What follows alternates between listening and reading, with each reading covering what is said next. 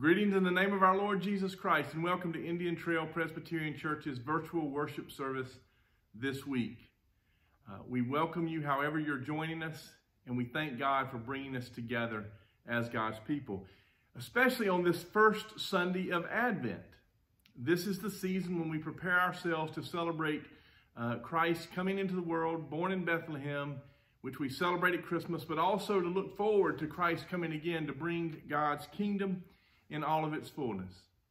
Uh, a couple of announcements. I want to say thank you to Presbyterian Women for the work they've done to prepare our sanctuary, our worship space for the Advent and Christmas seasons. And I also want to remind you that next week is the first Sunday of the month, and so we will be celebrating the Lord's Supper, communion together. And if you're worshiping with us on YouTube, we invite you to prepare some bread or and some wine or juice in your own home and celebrate that sacrament with us as we worship virtually.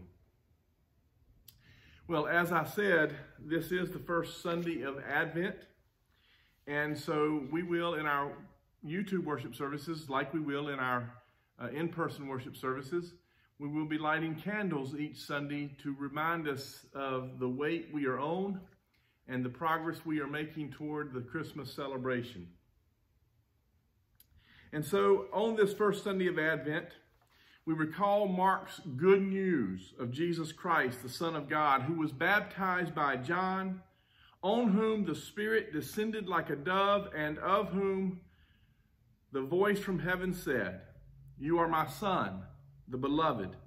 With you I am well pleased. We remember too our own baptism, the beginning of our participation in the work of Christ's kingdom.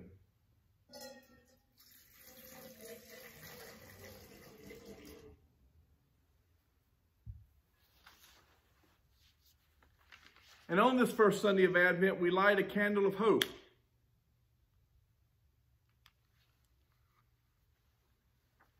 A candle of hope for all that the coming of Christ into our world initiates. Forgiveness, love, peace, new life today, and fullness of life in the coming kingdom of God forever. Let us walk in the light of the Lord. Let us worship God. Let us pray together.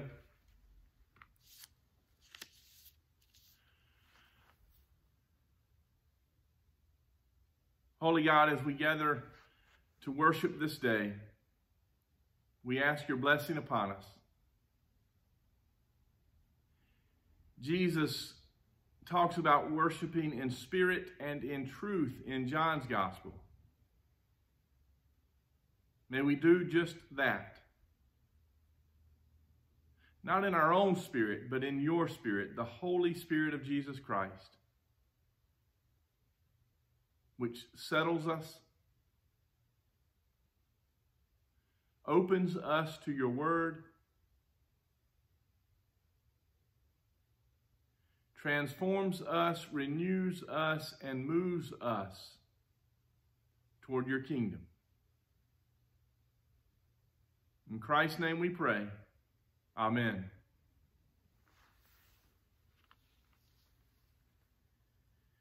Well, who doesn't love a good mystery? Whether it's a book or a movie or a television series, maybe even following uh, a mysterious news story on the evening news or on your computer. Who doesn't love a good mystery? We're to we're to see a mystery or talk about a mystery today in our worship in our sermon and and scripture. Uh, but first, I want to say a word about this worship series during the Advent season. Um, you probably know that in the Advent season, we who are people of God, we Christians, we tend to be looking in two directions at once. We sort of need to have our heads on swivels because in, uh, in the one sense, we're looking backwards as we prepare to celebrate God coming into our world in Jesus, the baby born in Bethlehem. We will celebrate that at Christmas. And in these four weeks that lead up to that celebration, we're looking backwards in history to get ready for that celebration. But at the same time, Advent calls us unequivocally to, to always be looking forward as well, looking forward with anticipation to, to Christ coming again, to God coming in, in, in the fullness of time to bring God's kingdom in its fullness to make all things new. Advent is a time that emphasizes our waiting for that promised coming in the future. So we're looking in two directions at one time. Well, as we were, um, as I was talking with some of our elders about the Advent uh, worship season and how what we might emphasize during this worship season, uh, one of them mentioned the fact that uh, so often we take the Advent uh, scriptures and the Christmas scriptures and we kind of throw them all in a bowl and, and mix them up and, and uh, we come out with one big story, which is, which is fine. We need to take the whole of Scripture. At the same time, however, it is important to kind of look at each gospel distinctively, separately, to see what is unique about that gospel and how it how Mark or Matthew or Luke or John how they individually tell the story of both Jesus coming in the past but also how they look forward to Christ coming again, to see if we have uh, distinct messages and lessons to learn from each of those four Gospels separately. Um, always, of course, holding them in tension and together with one another. Um, so we decided that we would look each Sunday of Advent at one of the Gospels and ask the question um, how does this particular go gospel uh, look distinctively back at the coming of Christ and distinctively forward to Christ coming again. And so today we're going to be looking at the Gospel of Mark. We're going to start with Mark, and this may be the simplest of the sermons I have to write because it's fairly obvious um, what a primary distinction is between Mark, uh, among Mark, between Mark and the other other Gospels. And we're going to look at that and just begin looking at that in just a moment. There are some real distinctions. So the first question we want to ask is how does Mark distinctively look backwards to the coming of Jesus? And so for that, we'll turn to the first chapter of Mark, uh, the first 13 verses of Mark's gospel, chapter 1, verses 1 through 13. Uh, listen now for God's word. The beginning of the good news of Jesus Christ, the Son of God as it is written in the prophet Isaiah, See, I am sending my messenger ahead of you, who will prepare your way, the voice of one crying out in the wilderness. Prepare the way of the Lord, make his paths straight. John the baptizer appeared in the wilderness proclaiming a baptism of repentance for the forgiveness of sins and people from the whole Judean countryside and all the people of Jerusalem were going out to him and were baptized by him in the river Jordan, confessing their sins. Now John was clothed with camel's hair, with a leather belt around his waist, and he ate locusts and wild honey. He proclaimed, The one who is more powerful than I is coming after me. I am not worthy to stoop down and untie the thong of his sandals. I have baptized you with water, but he will baptize you with the Holy Spirit. In those days, Jesus came from Nazareth of Galilee and was baptized by John in the Jordan. And just as he was coming up out of the water, he saw the heavens torn apart and the Spirit descending like a dove on him. And a voice came from heaven, You are my Son, the beloved. With you I am well pleased. And the Spirit immediately drove him into the wilderness. He was in the wilderness 40 days, tempted by Satan, and he was with the wild beasts, and the angels waited on him. Those are the first 13 verses of Mark's gospel. This is how Mark introduces Jesus to the reader and to us as we read it today. What do you notice? There's no birth at all. No birth narrative at all. Suddenly, distinctively, Jesus just appears as an adult to be baptized by John. Suddenly, without any word about where this man came from, in the very first line, this is the amazing part, in the very first line of his gospel, Mark identifies Jesus as the Messiah. The people of God for generations uh, since before the time of the prophets, had been waiting on the Messiah. They knew that God would come and intervene in history and that God would make all things new. And they prayed for this and they waited for this. The Messiah was a loaded word. Everybody knew what that meant. And in the very first line, Mark says, Here is the Messiah.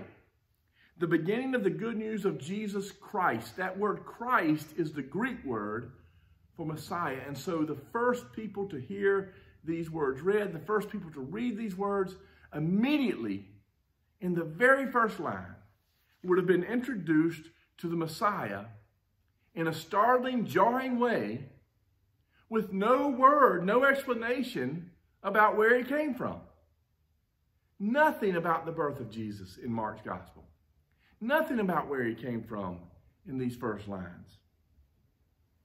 It's all mysterious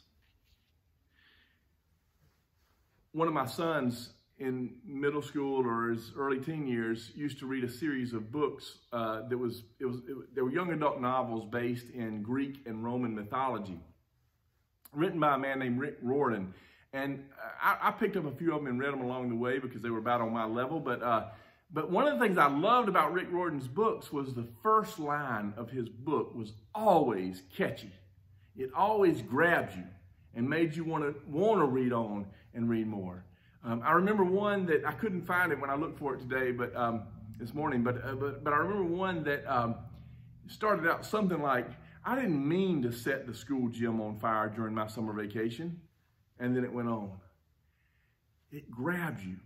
Mark in this in his opening words grabs the reader so that the reader can't wait to hear the rest of the story. This is the Messiah. He does it in a few different ways, um, three of which I'll mention. First of all, that, that first line, the word Christ, Messiah. He, later on in a few verses, you heard him say that, that John told the people, He will baptize you with the Holy Spirit. The outpouring of the Holy Spirit was a sign of the presence of the God of all creation.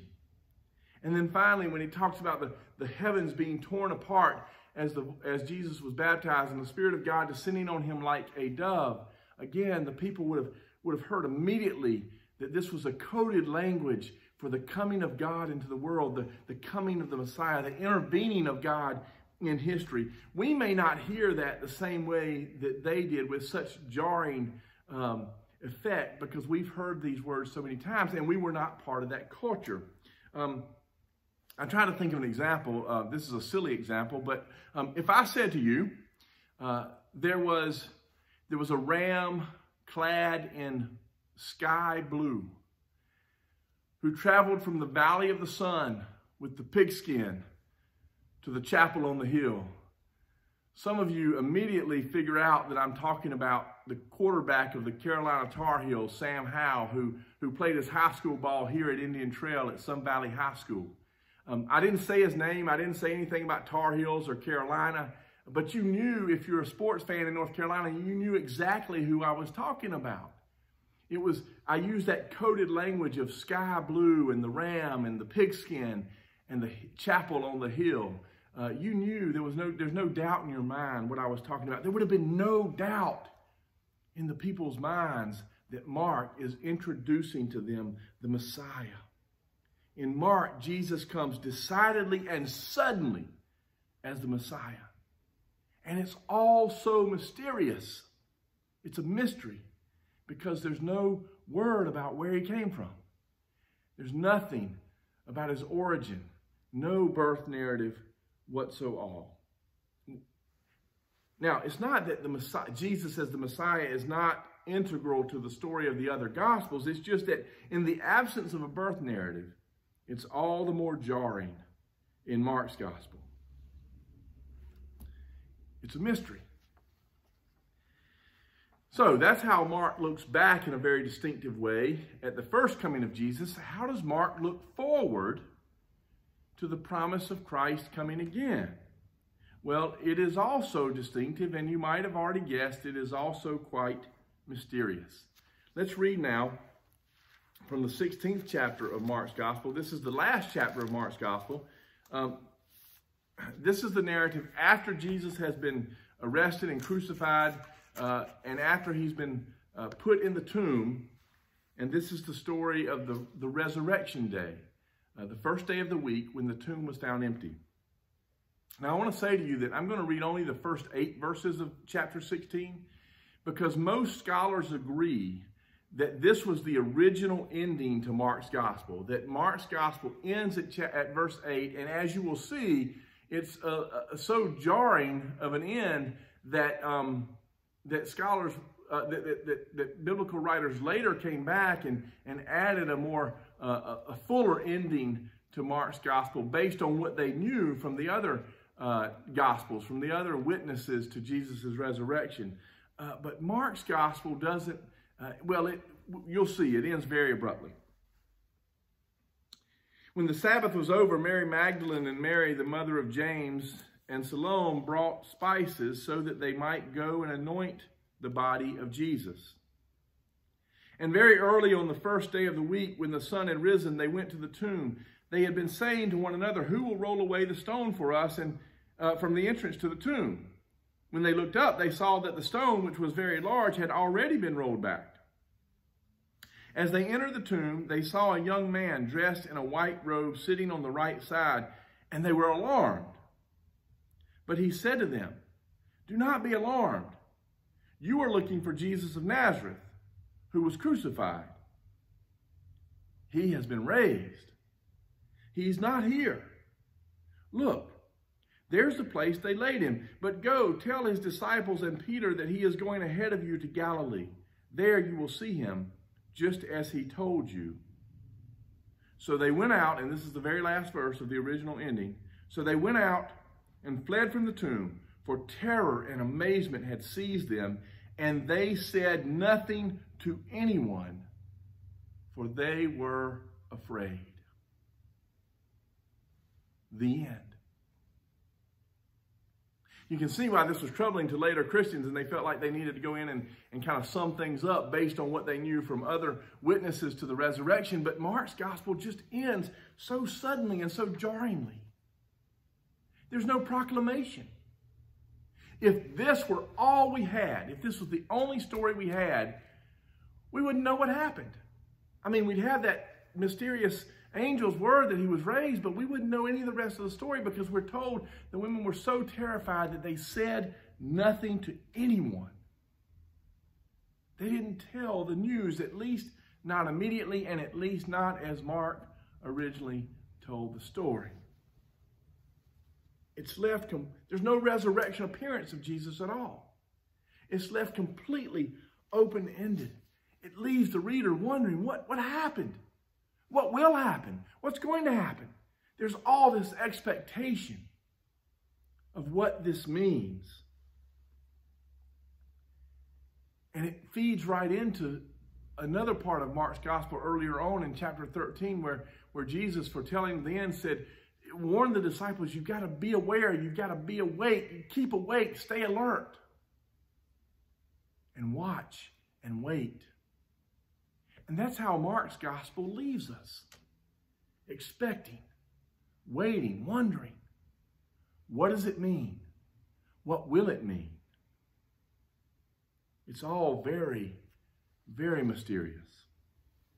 Again, it's not that waiting and expectation is not part of the other gospels. It's just that Mark does it in such a way, in the absence of any proclamation, any spreading of the good news, Mark does it in such a way that just leaves us hanging on the edge of our seats.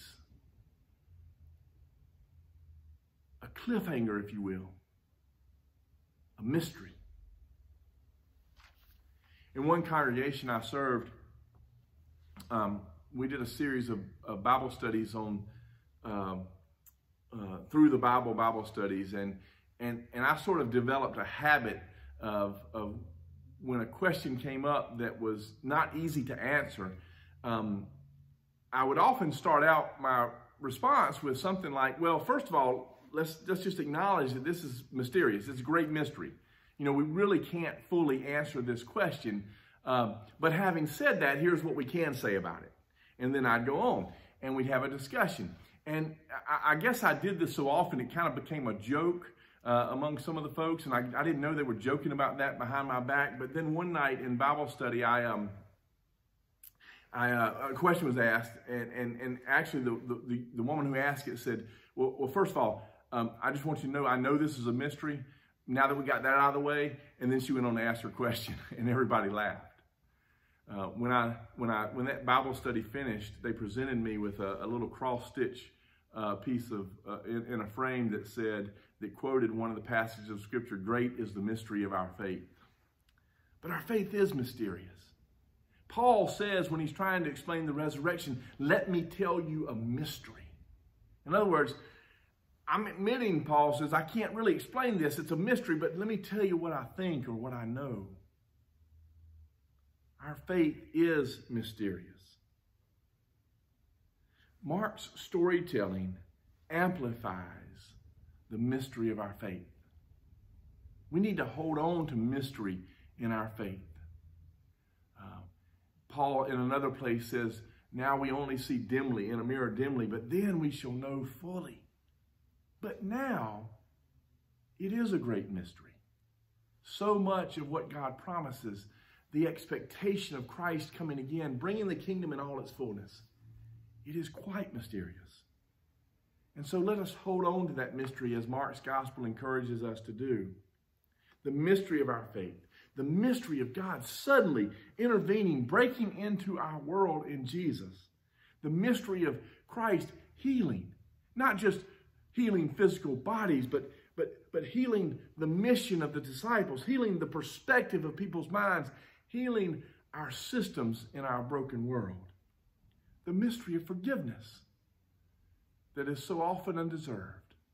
The mystery of the anticipation of Christ's coming kingdom, of Christ coming in the clouds, as Mark says in the first chapter. The mystery of the promise of a kingdom in which all things will be made new and for which we wait. Come, Lord Jesus, in all your mystery. In the name of the Father, and the Son, and of the Holy Spirit. Amen.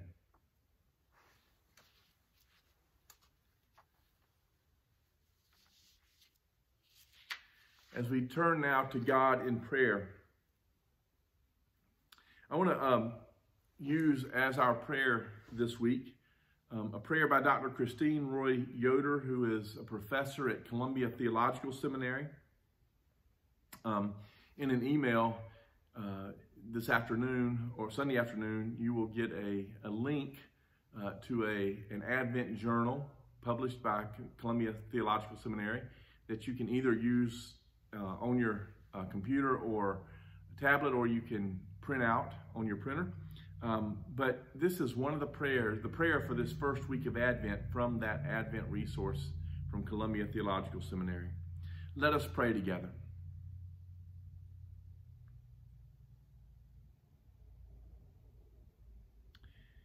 We've been waiting for a long time, oh God. Waiting for vaccines to be available for everyone everywhere waiting together without counting and distancing and masking, waiting to have to worry less about so many things, waiting for good news, any good news. Some wait this day for a phone call, a diagnosis, a cure. Some wait for a job a meal, a home, a loved one. Some wait for the words to come, the seed to sprout, the fighting to end, the pain to ease. Some wait for courage. Some wait for justice. Some wait for safety. Some wait when they should not wait. Bless our waiting, O God. Waiting that in these days is so heavy and weary and spent. Bless our waiting and open in us the waiting of this holy season, our waiting for you. Waiting with roots in your sure promises of old, your words that never pass away. The days are surely coming, says the scripture. Waiting that stays awake and wonders and listens and learns. Waiting that hopes, loves, prepares, and hangs on as the world shakes and terrors roar. Waiting that stands up, helps up, lifts up, and looks up for your light, the true light coming into the world. Bless our Advent waiting, O God. We pray in the name of the one who came to us in a child born in Bethlehem and who promises to come again and who taught us to pray in the meantime. Our Father, who art in heaven, hallowed be thy name, thy kingdom come, thy will be done on earth as it is in heaven. Give us this day our daily bread, and forgive us our debts as we forgive our debtors. Lead us not into temptation, but deliver us from evil. For thine is the kingdom, and the power, and the glory forever. Amen. As we leave this time of worship, I want to echo uh, some of the encouragement of that prayer we just prayed together. As we leave this time of worship, stay awake, wonder, listen, love, hope, prepare Hang on as the world shakes and terrors roar. Stand up, help up, lift up, and look up to the Lord. In the name of the Father, and of the Son, and of the Holy Spirit. Amen.